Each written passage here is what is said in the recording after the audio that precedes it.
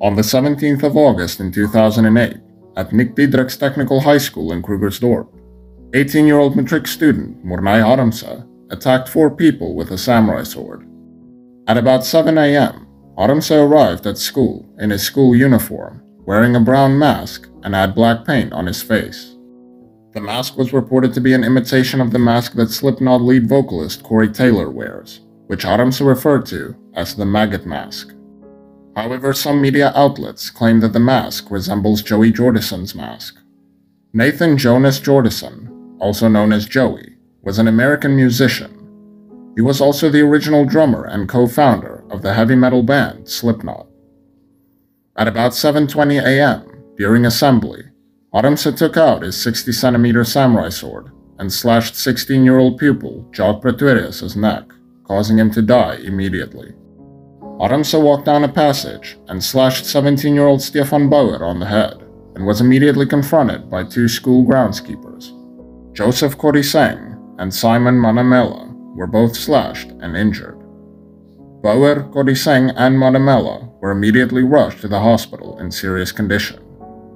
Two other masks were found in Harmse's bag, a clown mask from a Hollywood costume store similar to Sean Crane's, and a handmade papier-mâché mask with drilled holes painted with tribal marks. Three samurai swords were also found in his bag, which included a Sekizo ninja sword and a small katana. Harmse's attacks came to a stop when he sat down on a brick wall and stuck the sword into the ground. He was laughing and reportedly said, I killed three, didn't I? His younger brother, Kornai, who was standing nearby, ultimately grabbed the sword and ran away with it. At about 7.45 am, Harmse was escorted to the principal's office, where he reportedly asked the principal, What now, sir? And 15 minutes later, he was arrested by the police without argument. According to reports, Harmse gave his full cooperation. Harmse was temporarily held in custody of the Krugersdorp police station. In the aftermath of the attacks, blame was put on Satanism, which Harmse took an interest in. Harmse claimed that Satan told him to do it, and that he followed the practice of Satanism. When police executed a search in Harmse's room at 10 a.m. that morning, they found disturbing elements of Satanism that included an Ouija board and spellbooks.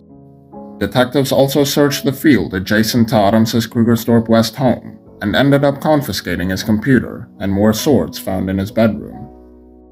Freedom Front counselor Alex Robenheimer, who visited the school shortly after the attack, claimed that he saw traumatized children who told him that the suspect was high on drugs and had told him that Satan had ordered him to kill. Robenheimer said that his friends said that he was quiet, a polite boy who kept to himself, and never looked for trouble. They said that they all thought that he was a nerd. However, they saw him before the attacks and allegedly said that he was definitely in an altered state. They claimed that his eyes looked strange, stating that they could only see the whites thereof, and that his voice was different. Harmse reportedly tested negative for drugs. Senior Superintendent Harald Labeskochny was responding to reports that Harmse claimed that he did it because Satan told him to kill the children. Labeskochny said, Whenever there is a murder, people jump to conclusions, and usually they claim that God or Satan had told the killer to do it. These notions shouldn't be taken seriously because it is straightforward. Someone, of their own free will, can kill another person. Pierre Akstian, who was in charge of a school support network for children, said that satanic music was probably the cause of the attacks. He came here camouflaged as a guy from Slipknot. We know the wrong kind of music and drugs have bad effects. Young people need to be informed of the effects of bad satanic music, said Akstian. Reportedly, Harmse was listening to the band before the attacks took place. Slipknot frontman Corey Taylor later issued a response to Harmse's actions, stating, Obviously, I am disturbed by the fact that people were hurt and someone died. As far as my responsibility for that goes, it stops there, because I know our message is actually very positive. I'm not encouraging anybody to kill anyone. I encourage our fans to express themselves, to stick together, and to help each other. Shahida Omar, therapeutic manager at the Teddy Bear Clinic, said that the quote unquote death mask and possible links to Satanism were, if at all true, simply a means of the boy gaining power and control. Omar added that when a child is rendered powerless, his way of attaining power is to identify with evil figures. This usually points to low self esteem, low sense of self worth, and attempts to solve the problem that results in quote unquote maladaptive behavior manifestations. Harmse's parents claimed that their son was a victim of bullying throughout his school life and that he suffered from low self esteem and stress. On the 20th of August in 2008, Harmse was charged with one count of murder and three counts of attempted murder at the Krugersdorp Magistrates Court. Psychiatrist Dr. Molefe Lutheku said Harmse had told her that he'd seen a ghost in the field of the small holding which his parents rent. The ghost, he said, had told him to become a Satanist. Lutheku recommended Harmse to be sent for psychiatric evaluation. She apparently made a big question mark before the words personality disorder.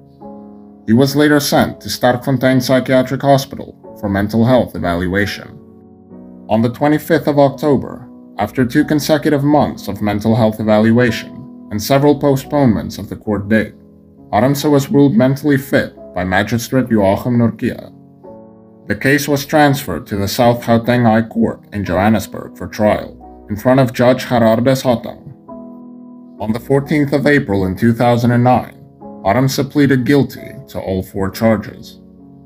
On the 10th of October, Morné Harmse was sentenced to 20 years in prison. Morné's parents, Michiel and Liza Harmse, issued a formal apology to the Pretorius family after the murder of their son, Jock. People who love themselves don't hurt other people. The more they hate themselves, the more they want others to suffer. Until next time.